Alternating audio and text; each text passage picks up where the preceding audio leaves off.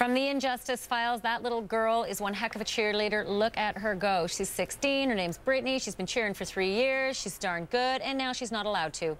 And that's that. She was sent to the stands and told she was a liability.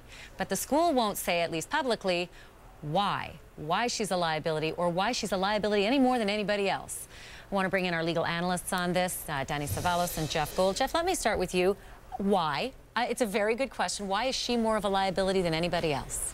Well, you know, there's a whole question of the ADA here, and they have to strike some kind of balance on Americans with Disabilities That's Act. right. Yeah. Uh, they have to strike some kind of a balance because, after all, she is disabled, but she has a right to participate. They're going to end up doing some kind of a deal, some kind of an agreement that allows her to participate, but at the same time, maybe keeps her away from the stunts, you know, things that might be more dangerous for her. So they have to consider that, but at the same time, they have to let her participate if she can. Understandably, Danny, the, the federal guidelines don't allow that school district to tell us uh, publicly all of these very private uh, details and issues as to why they did what they did. I think that's fair.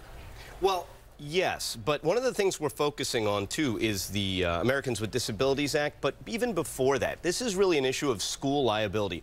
When student athletes sign on to play, irrespective even of their disabilities, she was already on the team. The school's concern is that she may get hurt. Number one, most people who attend an athletic event assume the risk that they may be hit with a ball or something else. And number two, as a high school athlete, I signed my life away on waivers. I don't see why her parents can't do the same for her. So I think the school has gotten itself into just a bit of a pickle on this case. All right, guys, thank you for that. We're going to continue to watch this. The school district did say, look, there's a lot of rumors going around that aren't true. Uh, she is still an honorary member, and they have met deals in the works. We'll continue to update you.